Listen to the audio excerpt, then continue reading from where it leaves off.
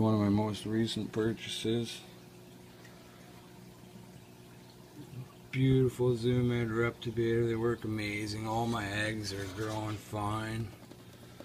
Got hypo high yellow leopard geckos, some bold snows, and some max snow, and white and yellows. And every time I open this thing up, all I can smell is the humidity in the air. I love it.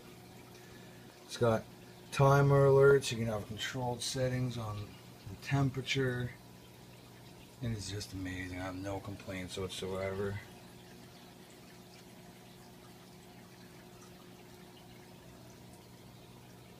Remember everybody, save your reptile.